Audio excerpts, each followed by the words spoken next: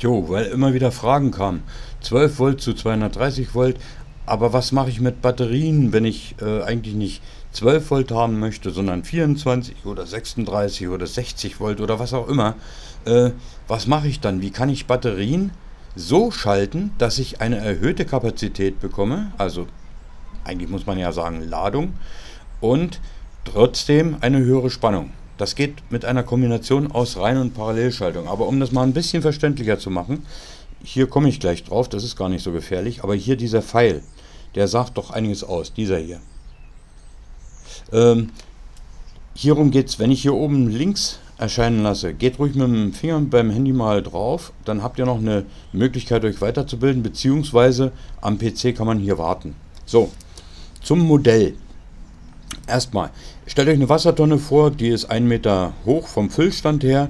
Und dann ist es ja eigentlich logisch, dass ich, wenn ich 1 Meter Füllstand habe, mehr Druck drauf ist. Als wenn ich nur einen halben Meter drauf habe. Beispiel, wenn ich jetzt äh, 1 Meter als 0,1 Bar nehme, dann habe ich 12 Volt, bleiben wir bei irgendwann 12 Volt. Oder ich habe 0,05 Bar eben, dann habe ich nur 6 Volt. Bis dahin müsste es logisch sein. Und jetzt hat diese Wassertonne, nehmen wir mal an, 60 Liter. 60 Liter äh, ist ein angenehmes Volumen und das soll mal so sein. Dann könnte ich das doch mit als die Ladung der Tonne bezeichnen, elektrisch gesehen. Tun wir mal so, als wenn es 60 Ampere-Stunden wäre. Beziehungsweise 1 Ampere Minute, 60 Minuten, eine Stunde und so weiter. Das heißt also, dass ich 60 Ampere eine Stunde lang entnehmen kann, beziehungsweise 30 Ampere, wenn ich zwei Stunden lang entnehmen möchte. Dann kann ich nur die Hälfte des Stroms nehmen. Sonst ist die Tonne schneller leer als gedacht. Oder wenn ich viel mehr nehme, dann habe ich nur eine halbe Stunde. Ne? 120 mal 0,5 ist auch wieder 60. Daher kommt es. Ich habe ja sonst immer locker gesagt, hier auch in den anderen Videos, ich glaube, jetzt kommt gleich der Link. Ähm, ich sprach ja immer von der Kapazität. Das ist so ein typisches Wort, äh, was man gerne gebraucht. Aber korrekterweise müsste ich sagen, die Ladung der Tonne.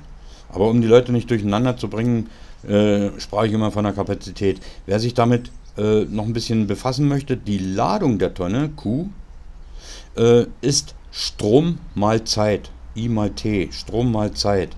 Und wenn ich diese Strom mal Zeit in die echte Kapazitätsformel, also C ist gleich einsetze, dann kann ich sagen Strom mal Zeit durch Spannung. Ein Farad ist zum Beispiel 1 Ampere mal eine Sekunde geteilt durch 1 Volt, also pro 1 Volt. Beispiel auf unsere Regentonne hier mit 60 Amperestunden durch 12 Volt ergäbe eine Kapazität von 5 Amperestunden pro Volt. Das jetzt als Farad auszudrücken wäre ein bisschen spannend, dann müsste ich jetzt wieder entsprechende Kommazahlen äh, hervorzaubern, das bringt jetzt nicht viel. Gucken wir mal kurz, äh, was kann ich denn also tun? Na, will er nicht. Ei, na sowas. So, ich kann also die Spannungen, den Druck kann ich erhöhen, indem ich einfach entweder die drei Regentonnen so übereinander stelle, nicht nebeneinander, übereinander und die verbinde, dann habe ich einen höheren Druck oder ich nehme gleich eine dreifach so hohe Tonne. Aber Achtung, ne, also dreifach höherer Druck ergeben zum Beispiel hier auf unser Beispiel bezogen 3x12 Volt, 36 Volt. Das entspreche einer Reihenschaltung, komme ich aber gleich drauf. So, wenn ich jetzt aber sage, ich habe aber nur eine Ladung von 60 Amperestunden.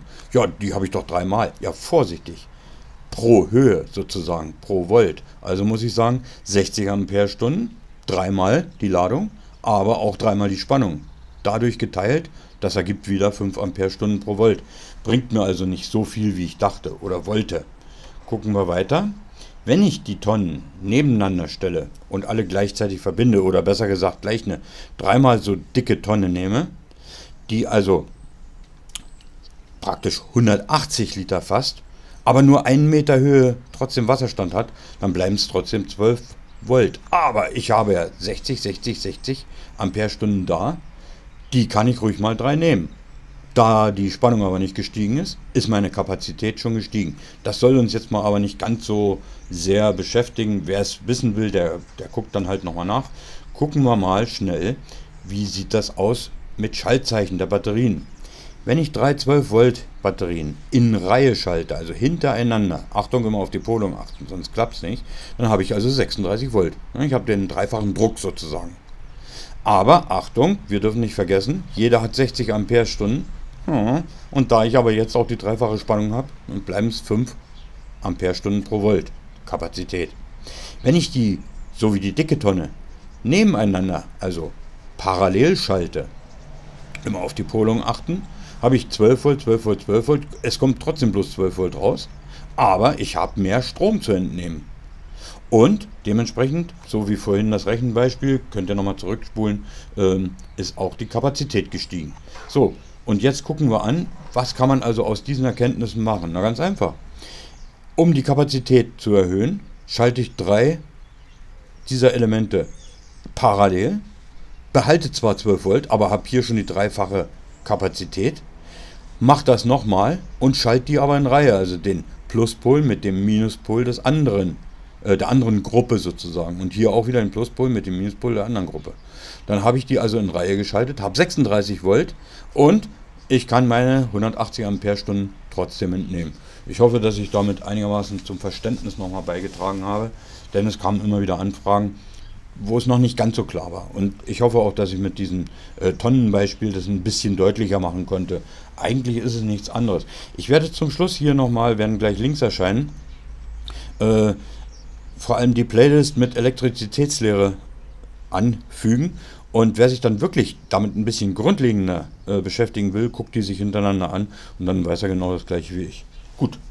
Na denn, ich hoffe, es hat geholfen und verbleibe mit freundlichen Grüßen und besten Wünschen und bis zum nächsten Video. Tschüss, tschüss.